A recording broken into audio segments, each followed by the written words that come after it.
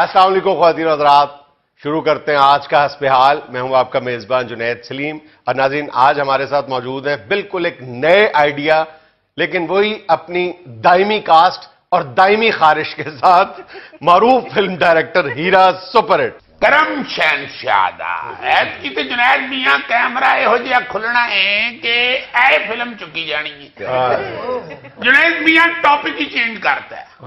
نیا پاکستان نیا ٹاپک क्या ਮੈਂ ਆਨਾ ਐਤਕੀ ਫਿਲਮ ਸ਼ੁਰੂ ਹੋਣੀ ਹੈ ਤੇ ਹਾਲਾ ਹਾਲਾ ਹੋ ਜਾਣੀ ਹੈ। ਹਰ ਫਿਲਮ ਸ਼ੁਰੂ ਕਰਨੇ ਤੋਂ ਪਹਿਲੇ ਇੰਜ ਦੀਆਂ ਬੜਕਾ ਮਾਰਦੇ ਨੇ ਜੁਨੇਦ ਸਾਹਿਬ ਓਏ ਕੰਮ ਸ਼ੁਰੂ ਕਰਨ ਤੋਂ ਪਹਿਲੇ ਖੈਰ ਮੰਗੀ ਦੀਏ। ਅਨਸਾਰੀ ਹੋਰ ਕੀ ਫਿਲਮ ਰੋ ਪਿੱਟ ਕੇ ਸ਼ੁਰੂ ਕਰਾਂਗੀ ਹਿੱਟ ਫਲਾਪ ਨੂੰ ਛੱਡੋ ਹੀਰਾ ਸਾਹਿਬ। ਮੈਨੂੰ ਇੱਕ ਵਾਰੀ ਫਿਲਮ ਬਣਾ ਕੇ ਵਿਖਾ ਦਿਓ। ਉਹ ਮੈਂ ਤੇ ਤਰਸ ਗਿਆ ਕਿ ਬੋਰਡ ਦੇ ਉੱਤੇ ਮੈਂ ਕਦੋਂ ਆਪਣਾ ਨਾਮ ਪੜਾਂਗਾ। ਇਹ ਬੋਰਡ ਤੇ ਨਾਂ ਤੇ ਚੋਰਾਂ ਡਾਕੂਆਂ ਦੇ ਵੀ ਲਿਖੇ ਹੁੰਦੇ ਨੇ ਜਾ ਥਾਣੇ ਜਾ ਕੇ ਵੇਖ। ਸੁਪਰ ਹਿੱਟ ਫਿਲਮ ਦੇ ਬੋਰਡ ਦੇ ਉੱਤੇ ਨਾਂ ਲਾਣਾ ਕੋਈ ਮਾਮੂਲੀ ਗੱਲ ਨਹੀਂ ਹੁੰਦੀ। ਉਹ ਕਦੋਂ ਹਿੱਟ ਹੋਣੀ ਹੈ ਫਿਲਮ? ਮੈਂ ਤਾਂ ਲਸਵੇਲੇ ਤੋਂ ਮਸ਼ਹੂਰ ਅਮਲ ਬਾਬਾ ਜੀ ਨੂੰ ਮੰਗਾ ਕੇ ਸੈੱਟ ਤੇ ਦੁਆ ਵੀ ਕਰਵਾਈਏ। ਤੇਰੀ ਮੱਤ ਵੱਜ ਗਈ ਅਨਸਾਰੀ ਲਸਬੇਲੇ ਤੋਂ ਆਮਲ ਬਾਬਾ ਬੁਲਾ ਲਿਆ ਤੂੰ। ਆ ਲਸਬੇਲੇ ਦੀ ਚਰਸ ਮਸ਼ਹੂਰ ਹੈ ਐਸਾ ਉਹ ਬਾਬਾ ਆਇਆ ਜੀ ਜੁਨੈਦ ਸਾਹਿਬ ਉਹ ਸੈੱਟ ਤੋਂ ਹੋ ਕੇ ਗਿਆ ਸੈੱਟ ਨੂੰ ਪਿੱਛੇ ਅੱਗ ਲੱਗ ਗਈ। ਛੱਡ ਦੇ ਬਾਬੇ ਬੂਬੇ ਮੈਂ ਜੋ ਤੈਨੂੰ ਕਹਿ ਰਿਹਾ ਇੱਕ ਵਾਰੀ ਤੂੰ ਕੈਮਰਾ ਓਪਨ ਹੋ ਲੈਂਦੇ ਫਿਲਮ ਇਹੋ ਜੀ ਦੌੜਨੀ ਆਏ ਓ ਯਾਰ ਤੂੰ ਫਲਾਪ ਹੀ ਬਣਾ ਦੇ ਫਿਲਮ ਬਣਾ ਦੇ। ਓ ਭਾਈ ਮੈਂ ਬਣਾਣੀ ਹੈ ਜਦੋਂ ਵੀ ਸੁਪਰ ਹਿੱਟ ਹੀ ਬਣਾਣੀ ਹੈ ਮੇਰਾ ਨਾਂ ਹੀਰਾ ਸੁਪਰ ਹਿੱਟ। ਫਲਾਪ ਬਣਵਾਣੀ ਹੋ ਤੇ ਜਾ ਬਾਹਰ ਬੜੇ ਲਗੇ ਫਿਰਦੇ ਨੇ ਬਣਵਾ ਲੈ ਕਿਸੇ ਹੋਰ ਕੋਲ। ਓ ਭਾਈ ਜੀ ਤੁਸੀਂ ਬਣਾਣੀ ਹੈ ਪਰ ਕਿਸੇ ਚੱਜ ਨਾਲ ਤੇ ਬਣਾਓ। ਮਤਲਬ ਤੇਰਾ ਅਨਸਾਰੀ? ਆ ਕਿਹੋ ਜੀ ਕਾਸਟ ਕਰ ਲਈ? ਜੁਨੇਦ ਸਾਹਿਬ ਯਕੀਨ ਕਰੋ ਮੈਂ ਦੂਸਰੀਆਂ ਫਿਲਮਾਂ ਦੇ ਸੈੱਟ ਦੇ ਉੱਤੇ ਜਾ ਕੇ ਵੇਖਿਆ। ਆਰਟਿਸਟ ਫੋਨਾਂ ਦੇ ਉੱਤੇ ਤੜਾ ਤੜ ਗੱਲਾਂ ਕਰ ਰਹੇ ਹੁੰਦੇ ਨੇ जाहिर है। ਔਰ ਡਾਇਰੈਕਟਰ ਤਰਲੇ ਕਰ ਰਹੇ ਹੁੰਦੇ ਨੇ ਉਹ ਛੋੜ ਦੇ ਫੋਨ को आके शॉट दे क्या कर रहे हैं आप फोन पे बातें ਆ ਦੂਸਰੇ ਪਾਸੇ ਆ ਮੇਰੀ ਕਾਸਟ ਇਹਨਾਂ ਨੂੰ ਕਦੀ ਕਿਸੇ ਦਾ ਫੋਨ ਹੀ ਨਹੀਂ ਆਇਆ क्या मतलब है आपका ਮੈਂ ਸਾਹਿਬ ਠੰਡੀ ਤੋਂ ਠੰਡੀ ਫਿਲਮ ਵੀ ਹੋਵੇ ਨਾ ਕਮ ਸੇ ਕਮ ਹੀਰਮਨ ਨੂੰ ਜ਼ਰੂਰ ਫੋਨ ਆ ਰਹੇ ਹੁੰਦੇ ਆ ਮੇਰੀ ਹੀਰਮਨ ਇਹ ਵਿਹਲੀ ਬੈਠੀ ਹੁੰਦੀ ਹੈ ਮੈਂ ਕਈ ਵਾਰਾਂ ਇਹਦਾ ਫੋਨ ਫੜ ਕੇ ਚੈੱਕ ਵੀ ਕੀਤਾ, ਕਿਤੇ ਬੈਟਰੀ ਤਾਂ ਨਹੀਂ ਲੋ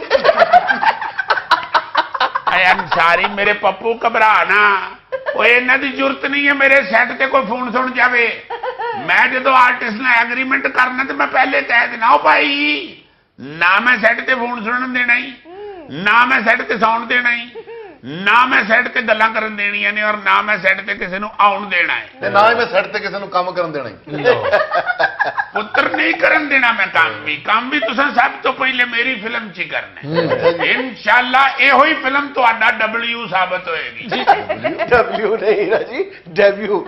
ہوئی ہوئی پتر تو دیکھ صحیح ذرا جو تو فلم شروع ہو نہیں ہے۔ رب نے کرم کر دینے نے میر بانیاں ہو جانیاں نے برکتاں پہ جانیاں نے کرم ہاں۔ چین زیادہ ہو جانی جانیاں اچھا آپ کی فلم ہٹ ہونا چار پیسے آئے ہیں تو یہ خارش کا علاج ضرور کروائی ہے وہ یار چھاڑ دیو انہوں ٹینشن والا کام میں ہوئے ہیرا جی کتنی دیر سے بیٹھے ہوئے مجھے تو بیٹھے بیٹھے بھوک لگ گئی کچھ کھانے کے لیے منگوا لیں۔ آرڈر کر شہزادی what do you like Subway way کھانا جی سارے نے سب وے۔ بھائی ابا جی دی جیب ویختے ہیں گل ڈک وے۔ اچھا آپ ان سب کو سب میں کھلاتے ہیں؟ ہاں اجی فرمائش سب میں ٹائم ہی کر دینے۔ مگر اخیر انہاں دے اگے ٹھنڈے پکوڑے بھی رکھو تے چب جاندے۔ ਨੇ ਬਲਕਿ ਘਰ ਫੋਨ ਕਰਕੇ ਦੱਸਦੇ ਨੇ ਲਓ ਜੀ ਅੱਜ ਮੈਂ ਡਿਨਰ ਕਰਕੇ ਹੀ ਆਉਂਗਾ आप लोगों की आदत इतनी बुरी है ਉਹ ਜਨੇਸ਼ ਸਾਹਿਬ ਕੀ ਦਸੀਏ ਤੁਹਾਨੂੰ ਪਤਾ ਕਾਸਟ ਤੇ ਸਾਰੀ ਪਹਿਲੇ ਬੈਠੀ ਹੁੰਦੀ ਹੈ ਤੇ ਲੋਕਾਂ ਦੇ ਡਾਇਰੈਕਟਰ ਆਉਂਦੇ ਨੇ ਰੌਲਾ ਪੈ ਜਾਂਦਾ ਗੇਟ ਖੋਲ ਜਾਂਦੇ ਨੇ ਸ਼ਾਹ ਸਾਹਿਬ ਆ ਗਏ ਮਲਕ ਸਾਹਿਬ ਆ ਗਏ ਭੱਟ ਸਾਹਿਬ ਆ ਗਏ ਸਾਡੀ ਕਾਸਟ ਬੈਠੀ ਹੁੰਦੀ ਹੈ ਸਾਡੇ ਡਾਇਰੈਕਟਰ ਸਾਹਿਬ ਪਤਾ ਨਹੀਂ ਲੱਗਦਾ ਕਿਤੇ ਲਾਗੂ ਹੀ ਨਿਕਲ ਕੇ ਕਹਿੰਦੇ ਨਾ ਸਲਾਮ ਅਲੈਕੁਮ यार उनकी सादगी है और उत्तर फनकार यही होता है ਜਦੋਂ ਮਰਜ਼ੀ ਨਿਕਲ ਆਵੇ ਪਤਾ ਹੀ ਨਹੀਂ ਲੱਗਦਾ ਹਾਂ ਤੇ ਆ ਪ੍ਰੋਡਿਊਸਰ ਸਾਹਿਬ ਦੀ ਸੁਣ ਲਓ ਲੋਕਾਂ ਦੇ ਪ੍ਰੋਡਿਊਸਰ ਆਉਂਦੇ ਆ ਪ੍ਰਾੜਾ ਤੋਂ ਉਤਰਦੇ ਆ ਲੈਂਡ ਕਰੂਜ਼ਰ ਤੋਂ ਉਤਰਦੇ ਆ ਸਾਡਾ ਪ੍ਰੋਡਿਊਸਰ ਇੰਜ ਅੰਦਰ ਵੜਦਾ ਜਿਵੇਂ ਕੋਈ ਹੋਟਲ ਤੇ ਨਾਮ ਦੇਣ ਆਇਆ ਬੰਦਾ ਦੂਸਰੇ ਪ੍ਰੋਡਿਊਸਰਾਂ ਵਾਸਤੇ ਵੱਡੇ ਗੇਟ ਖੋਲਦੇ ਸਾਡਾ ਪ੍ਰੋਡਿਊਸਰ ਛੋਟਾ ਗੇਟ ਵੀ ਤਰਲੇ ਲੈ ਲੈ ਕੇ ਤਰਲੇ ਲੈ ਲੈ ਕੇ ਅਖੀਰ ਪਠਾਨ ਨੂੰ 50 ਰੁਪਏ ਦੇ ਕੇ ਅੰਦਰ ਵੜਦਾ ਮੈਂ ਲਾ ਨਹੀਂ ਸਕਦਾ ਉੱਥੇ ਲਿਖਿਆ ਹੈ ਕੈਮਰੇ ਕੀ ਆਂਖ ਆਪਕੋ ਦੇਖ ਰਹੀ ਹੈ। ਤੇ ਤੇਰੇ ਸਦਕੇ ਜਾਵਾਂ ਸਾਰੀ ਵੱਡੇ ਗੇਟ ਤੇ ਤੈਨੂੰ ਕੈਮਰੇ ਕੀ ਅੱਖ ਵੇਖ ਰਹੀ ਹੁੰਦੀ। ਤੇ ਜਦੋਂ ਅੰਦਰ ਸਵੀਟੀ ਨੂੰ ਆਪਣਾ ਅੱਧਾ ਨਾਨ ਪਾੜ ਕੇ ਕਹਿੰਦੇ ਇਹ ਵੀ ਆਪ ਖਾਏ। ਓਏ ਉਦੋਂ ਕੀ ਕੈਮਰਾ ਅੰਨਾ ਹੋਇਆ ਹੁੰਦਾ? ਹੈ। ਇਹ ਇਨਸਾਨੀਅਤ ਹੈ। ਤੇਰੇ ਸਦਕੇ ਜਾਵਾਂ ਵੱਡੇ ਗੇਟ ਤੇ ਬੇਇੱਜ਼ਤੀ ਕਰਾਉਣਾ ਉਹ ਚੱਲਿਆ ਉੱਥੇ ਦੱਸਿਆ ਕਰ ਚੌਕੀਦਾਰ ਨੂੰ ਖੁੱਲ ਕੇ। ਹਾਂ। ਮੈਂ ਹੀਰੇ ਸੁਪਰ ਹਿੱਟ ਦਾ ਬੰਦਾ ਵਾਂ। ਜੇ ਵੱਡਾ ਗੇਟ ਨਾ ਖੋਲਣ ਤੇ ਜਾ ਫਿਲਮ ਛੱਡ ਦੇਵੀਂ। ਹੀਰਾ ਜੀ ਤੁਸੀਂ ਸਾਡੇ ਡਾਇਰੈਕਟਰ ਵੀ ਹੋ ਮੁਰਸ਼ਦ ਵੀ ਹੋ ਉਸਤਾਦ ਵੀ ਹੋ ਬਲਕਿ ਸਭ ਕੁਝ ਹੀ ਸਾਡਾ। ਖੈਰ ਹੋਵੇ ਤੇਰੀ। ਸਾਡਾ ਸਭ ਕੁਝ ਤੁਸੀਂ ਹੋ। ਤੈਨੂੰ ਹੀ ਭਾਗ ਲੱਗਣੇ ਨੇ ਰੰਗ ਐਵੇਂ ਨਹੀਂ ਲੱਗਣੇ ਤੈਨੂੰ ਔਰ ਤੈਨੂੰ ਰੰਗ ਜਿਹੜੇ ਲੱਗਣੇ ਨੇ ਉਹ ਫਿਰ ਤੈਨੂੰ ਪਤਾ ਹੀ ਹੈ। ਉਸਤਾਦ ਮੋਹਤਰਮ ਇੱਕ ਇਲਾਜ ਹੈਗਾ ਤੁਹਾਡੇ ਵਾਸਤੇ ਤੁਹਾਨੂੰ ਕਦੀ ਖਾਰਸ਼ ਨਹੀਂ ਹੋਏਗੀ। ਉਹ ਕੀ ਬੇਟੇ? ਐਨੇ ਨੇ ਬਾਹਾਂ ਵੜਾ ਕੇ ਨਾ ਪਲਾਸਟਿਕ ਦੀਆਂ ਲਵਾ ਲਓ। ਜਿੱਤੇ ਆ ਇਲਾਜ ਤੇ ਤੇਰਾ ਅੱਛਾ ਹੈ ਮਗਰ ਤੂੰ ਉਸਤਾਦ ਕੋਲੋਂ ਸਿਰ ਤੇ ਪਿਆਰ ਨਹੀਂ ਲੈ ਸਕਦਾ। ਓ ਹੀਰਾ ਜੀ ਆਪਣੀ ਨਈ ਫਿਲਮ ਦਾ ਟਾਪਿਕ ਤਾਂ ਸਮਝਾਏ ਜੀ ਉਧਰ ਆ ਜਾਂਦੇ ਆ ਮੇਰੀ ਜਾਨ ਉਧਰ ਆ ਜਾਂਦੇ ਆ। ਫਿਲਮ ਜਿਹੜੀ ਬਣ ਰਹੀ ਹੈ ਜੁਨੈਦ ਮੀਆਂ او صاف پاکستان کلین پاکستان دے حوالے نہ بن رہی۔ کیونکہ اصل سپر ہٹ ٹاپک ہی پاکستان چیک کے۔ اچھا۔ پورا پاکستان خان دے پیچھے لگ رہے اور کہہ رہے ہیں کیا بات ہے کیا کہنے صدقے جاواں۔ جی بٹو۔ پتر فلم بنن نہیں ہوں کہ نہیں؟ کلین گرین پاکستان ہاں۔, ہاں جی اور فلم دا نام ہے رکھیا جی چاڑو میرے ویر دی۔ اور دو ہی روجے ਜਵੇਦ ਮੀਆਂ ਦੋ ਹੀਰੋ ਜੇ ਫਿਲਮ ਚ ਪਹਿਲੇ ਹਾਫ ਚ ਹੀਰੋ ਹੈ ਮੇਰਾ ਅੰਸਾਰੀ ਅੱਛਾ। ਅੰਸਾਰੀ ਨੇ ਜਦੋਂ ਦਾਬੜਾ ਤੇ ਕਈ ਫੜ ਕੇ ਤੇ ਫਿਲਮ ਓਪਨ ਕੀਤੀ ਏ। ਪਹਿਲੇ ਸ਼ਾਟ ਵਿੱਚ ਹੀ ਮੈਂ ਬੈਕ ਤੋਂ ਵਹਾਇਆ ਏ ਔਰ ਪਿੱਛੇ ਲਿਖੇ ਹੈ ਖੈਰ ਨਾਲ ਜਾ ਤੇ ਖੈਰ ਨਾਲ ਲਾ। ਲੋਕਾਂ ਸਮਝਿਆ ਟਰੱਕ ਜਾ ਰਿਹਾ ਕਲੋਜ਼ ਕੀਤਾ ਤੇ ਪਤਾ ਲੱਗਾ ਅੰਸਾਰੀ ਦੇ ਕੁੜਤੇ ਤੇ ਲਿਖੇ ਹੈ ਖੈਰ ਨਾਲ ਜਾ ਤੇ ਖੈਰ ਨਾਲ। ਵਾਹ ਵਾਹ ਵਾਹ ਵਾਹ ਲਓ ਜੀ ਇਹ ਹਿੱਟ ਫਿਲਮ ਹੈਗੀ ਜੀ ਤੁਹਾਡੀ। ਲਓ ਜੀ ਅੰਸਾਰੀ ਨੇ ਸਾਰੀ ਗਲੀ ਸਾਫ਼ ਕਰਤੀ ਕਿਆ ਬਾਤ ਹੈ। ਔਰ ਇੱਕਦਮ ਜਦੋਂ ਗਲੀ ਸਾਫ਼ ਹੋਈ ਹੈ ਤੇ ਵਿਲਨ ਦੇ ਘਰ ਦੀ ਖਿੜਕੀ ਖੁੱਲੀ ਏ ਤੇ ਉਹਦੀ ਬੀਵੀ ਨੇ ਪੱਕੀ ਪਾਲਕ ਦੇ ਡੰਡਲ ਭਰ ਕੇ ਬਾਹਰ ਸੁੱਟੀ ਏ ਭਰਾਤ। ਕੱਟ ਕਰਕੇ ਮੇਰੇ ਹੀਰੋ ਨੇ ਪਿੱਛੇ ਦੇਖਿਆ ਕਿ ਮੈਂ ਹੁਣੇ ਸਫ਼ਾਈ ਕੀਤੀ ਹੈ ਤੇ ਫਿਰ ਗੰਦ ਪਾ ਗਈ। ਆਇਆ ਆਇਆ ਆਇਆ।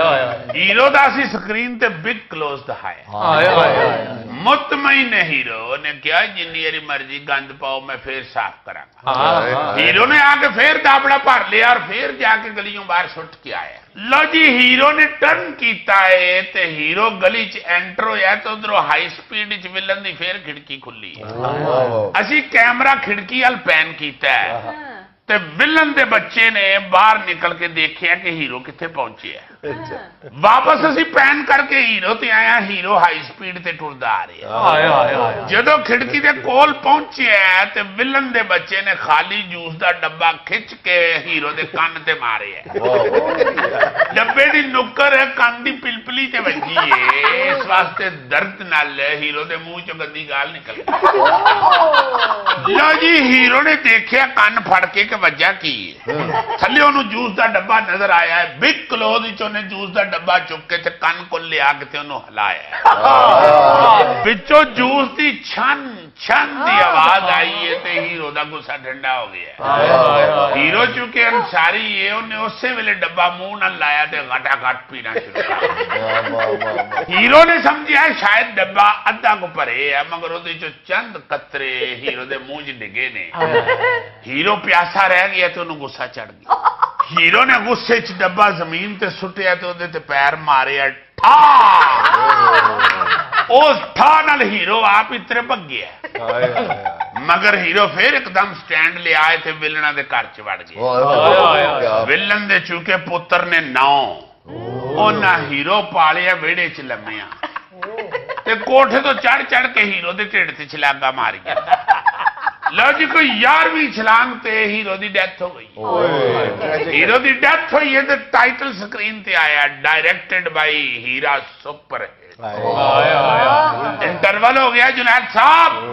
ਇਹ ਪਹਿਲੀ ਫਿਲਮ ਹੋਣੀ ਚਾਹੀਏ ਜਿਹਦੇ ਇੰਟਰਵਲ ਦੇ ਉੱਤੇ ਟਾਈਟਲ ਚੱਲਣੇ। ਆਈਡੀਆ। ਲਓ ਜੀ ਇੰਟਰਵਲ ਤੋਂ ਬਾਅਦ ਫਿਲਮ ਸ਼ੁਰੂ ਹੋਈ ਏ। ਕੀ ਬਹਾਨੇ ਆ ਕਿ ਪਹਿਲੇ ਹੀਰੋ ਦੀ ਕਵਰ ਦੇ ਉੱਤੇ ਉਹਦਾ ਪੁੱਤਰ ਮੇਰਾ ਸੈਕੰਡ ਹੀਰੋ ਚੀਤਾ ਬੱਬਰ ਸ਼ੇਰ। ਲਓ ਜੀ ਚੀਤੇ ਦੇ ਹੱਥ 'ਚ ਝਾੜੂ ਏ ਤੇ ਲੋ ਐਂਗਲ ਤੋਂ ਉੱਠਿਆ ਅੱਬਾ ਹੁਕਮ ਕਰ ਅੱਬਾ ਮੈਂ ਦੁਸ਼ਮਣਾ ਕੋਲੋਂ ਤੇਰਾ ਬਦਲਾ ਲਵਾਂ ਕਿ ਨਾ ਲਵਾਂ। ਤੇ ਤੇ ਨਾਲ ਦੀ ਕਵਰ ਹੀਰੋ ਦੀ ਮਾਂ ਦੀ ਏ ਤੇ ਉਸ ਕਵਰ ਚੋਂ ਆਵਾਜ਼ ਆਈ ਏ। Lele, Lele, Lele, Lele. ਲੈ ਜੀ ਹੀਰੋ ਦਾ ਚੁੱਕੇ ਪਹਿਲਾ ਸ਼ਾਟ ਏ।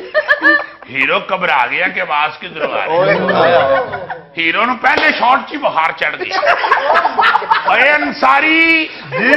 ਜਾ ਜਾ ਕੇ ਸਿਨੇਮੇ ਦੀ ਬੁਕਿੰਗ ਤੋਂ ਕਰੋੜਾਂ ਰੁਪਏ ਚੁੱਕ ਲੈ। ਸ਼ਾਹਗੋਰ ਡਾਲਾ ਲੈ ਕੇ ਜਾਈ ਛੋਟੀ ਸੁਜ਼ੂਕੀ ਖੜੀ ਤੇ ਦੋ ਫੇਰੇ ਪੈ ਜਾਣਗੇ। ਹੀਰਾ ਜੀ ਤੁਹਾਡੀ ਪੇਮੈਂਟ ਉਹ ਤੂੰ ਪੇਮੈਂਟ ਕੀ ਕਰਨੀ ਹੈ ਤੈਨੂੰ ਤਾਂ ਬੁਖਾਰ ਚੜ ਗਿਆ ਹੈ। ਤੂੰ ਪੈਨਾਡੋਲ ਲੈ वो पैराडोल के लिए पेमेंट मांग रहा है ਓਏ ਮੇਰੇ ਉਹ ਪੁੱਤਰੋ ਖਾਰਸ਼ਾਂ ਹੁਣੇ ਹੀ ਸ਼ੁਰੂ ਹੋ ਗਈਆਂ ਜੇ ਪੇਮੈਂਟਾਂ ਤੁਹਾਡੀਆਂ ਤੁਹਾਡੇ ਅਕਾਊਂਟਾਂ 'ਚ ਤੁਰ ਗਈਆਂ ਡਬਲ ਟ੍ਰਿਪਲ ਹੀਰਾ ਹੀ ਸਾਡੀ ਪੇਮੈਂਟ ਨਹੀਂ ਪਹੁੰਚੀ ਤੁਹਾਡੀ ਖਾਰਿਸ਼ ਬਾਹ ਤੋਂ ਤਲੀ ਤੱਕ ਪਹੁੰਚ ਗਈ ਏ ਇਹ ਖਾਰਜ ਤੇ ਹੀਰਾ ਜੀ ਦੇ ਸਾਰੇ ਜਿਸਮ ਤੇ ਹੈਗੀ ਹੈ ਕੈਮਰੇ ਸਾਹਮਣੇ ਸਿਰਫ ਬਾਵਾ ਕਰੂ دن یہاں میں لے رہے ایک چھوٹا سا بکفا ہمارے ساتھ رہیے گا۔ یہ جو عادت ہے نا جس کو ہم کہتے ہیں جی لیٹ نائٹ کریونگ ہے جی،, ہاں جی یہ تو لیٹ نائٹ یہ عادت نہیں رہی یہ اب بیماری کی شکل اختیار کر گئی ہے۔ اور اس کو کہتے ہیں کہ نائٹ ایٹنگ سنڈروم ہے۔